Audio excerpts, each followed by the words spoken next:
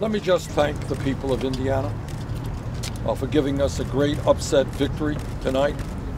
I know all the pundits thought we were supposed to lose, but that apparently was not what the people of Indiana uh, concluded. Um, I understand that Secretary Clinton thinks that this campaign is over. I've got some bad news for her. Uh, uh, tonight we won a great victory in Indiana. Uh, next week we're going to be in West Virginia. We think we have a real shot uh, to win in that great state. Then we're going to Kentucky and we're going to Oregon. We think we have a pretty good chance to win there as well.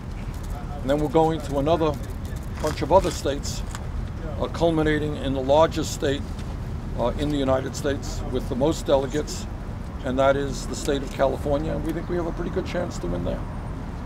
And I think that as more and more delegates uh, to the Democratic Convention take a hard look uh, at which candidate is generating the kind of enthusiasm, excitement, voter turnout that we need to make sure that somebody like a Donald Trump does not become president. I think you're going to see more and more delegates concluding that that candidate uh, is Bernie Sanders. And the reason for that is that the issues that we are talking about in this campaign are the issues that are on the hearts and minds of the American people.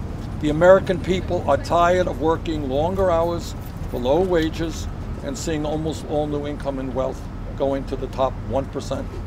They are tired of super PACs and a corrupt campaign finance system that allows billionaires to buy elections. They're tired of a broken criminal justice system, which enables us to have more people in jail than any other country on earth. They are worried about the future for their children.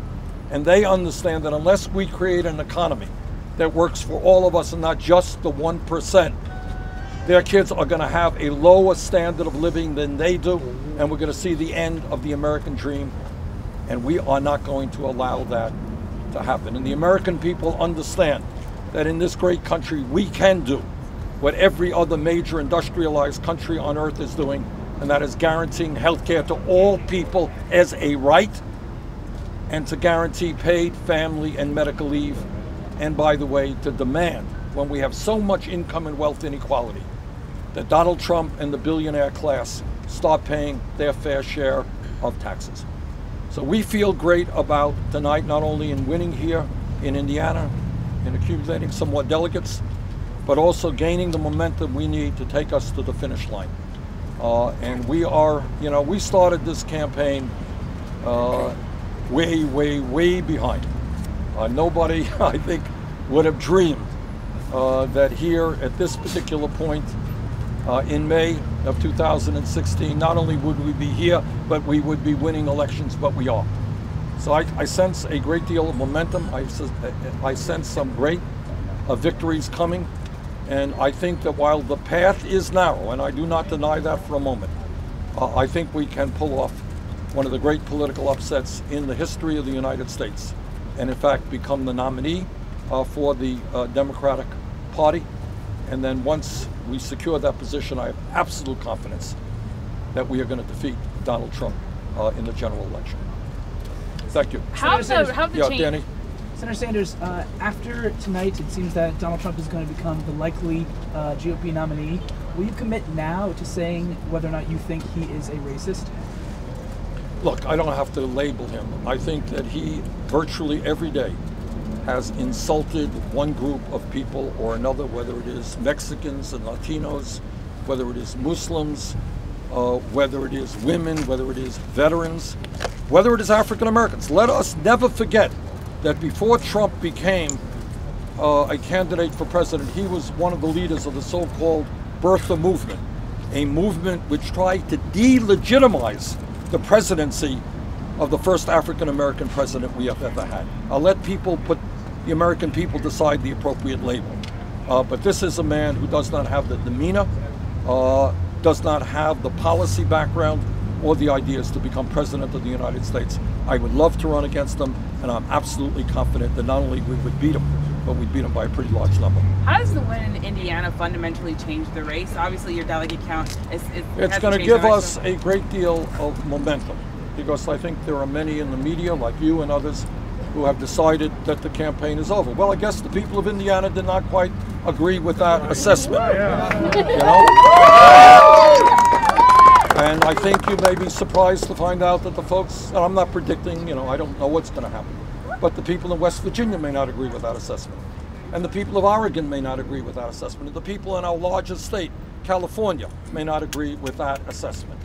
So we think, we understand, and I do not deny it for one second, that we have an uphill battle in front of us. Uh, but I think we have a path toward victory, although it is a narrow path. Our goal is twofold. Number one, to win a majority of pledged delegates. Uh, number two, it is to make sure that in those states where we have won landslide victories, you know, 65, 70% of the votes, that the super delegates in those states listen to their constituents and vote the way their constituents voted in their state's primaries or caucuses. And thirdly, we are going to make the case to the super delegates. Many of them, by the way, came on board Hillary Clinton's campaign before I was even an announced candidate. They were there way back when. Well, the world has changed in the last year. And I believe that we will be able to make the case to many of those superdelegates that what is most important is not whether Hillary Clinton or Bernie Sanders is the nominee. What is most important is that we do not allow someone like a Donald Trump to become president of the United States. And I think that according to every poll that I have seen in the last month, Bernie Sanders defeats Donald Trump in the national polls by greater margins than does Hillary Clinton, and Bernie Sanders beats uh, Donald Trump by greater margins than Hillary Clinton in battleground state after battleground state after battleground state. In other words, I think the objective evidence is that I am the strongest candidate to prevent the Trump from becoming president. Senator, have Yes, you been personally? Senator, you said yourself this week that you would have to win 65% of the remaining delegates Yes. to match Hillary Clinton and pledged Right. delegates. It's not looking like Indiana is going to be that kind of landslide. It's What a do you- start. It's a start. I'm looking forward to, there are other states to come. And we are looking forward to winning in West Virginia, uh, looking forward to winning in Kentucky, looking forward to winning in Oregon. And as you know, the state that has the most delegates is obviously California. And we already have a, a strong ground game in California. We have sent a lot of our people to California. Uh, we're going to run an unprecedented campaign in California. Uh, and with the help of the American people uh, who have helped us so much right now with those $27 contributions at BernieSanders.com, you know, we have made history. We have 7.3 million campaign contributions, BernieSanders.com, and with the help of the American people, we're going to have the resources we need to win in California. Senator, your fundraising dropped off pretty significantly. You know, I read an article in the New York Times. What was the word you used? Plunged? How do we compare to Hillary Clinton? She ended up with a few dollars more than we did. But for you, it dropped. For Well, your you know, you know well, because we were record breaking. The issue is, I think we raised, somebody correct me if I'm wrong, $26 million? $26 million in a month. That is a pretty good sum of money from where I come from. When we began this campaign, nobody ever dreamed probably we'd raise $26 million for the whole campaign, let alone in one month. Yes, so our numbers went down, and Hillary Clinton beat us by a few dollars. This is, we're taking on the most powerful political organization in America. She raised $600,000 more than I did. Didn't see the New York Times make that point. So we feel, we feel pretty good. And we feel that today's victory will probably help us. But look, we have enough money. You know, everybody always wants more money. I don't have a super PAC. Secretary Clinton has a super PAC. But we have enough money to run a strong and winning campaign throughout. how do you plan to maximize those resources to take you through California? Because that's a very expensive California is an outrageously expensive state in terms of media. You're right. And clearly, we're not going to be spending $100 million or whatever it takes on media in California. So we have to decide the best way to allocate our resources. I think that what the focus of our campaign will be actually what it has been up to now. And that is we're going to do a whole lot of rallies. You know, California has a lot, a lot of large and, and, and great cities. And I think what we are going to end up doing, we have brought out in this campaign up to today over 1.1 million Americans to rallies that we have held. I don't know, I could be wrong on this. I don't know that anyone has brought out more. I may be wrong about that, but that's my impression. Senator- We're going to go to California And when we go to California, you're going to see very large rallies up and down that beautiful state. Our last question, Lauren. Okay, uh, Senator, today uh, Donald Trump has been called a presumptive nominee. They've there are reports they're ramping up for the general election. Any concern that by extending the Democratic primary, that it's going to set Democrats at a at disadvantage all. come July? Not at all. If you look at the polling out there, there was a poll that just came out yesterday or today, and they asked the American people, uh, has the Democratic primary process invigorated the Democratic Party? Is it good for the Democratic Party? By very large numbers. The American people say yes. What we are doing in this campaign, and I'm extremely proud of it, we are literally bringing millions of people into the political process. And the way you bring people into the political process is you engage in a serious, issue oriented campaign.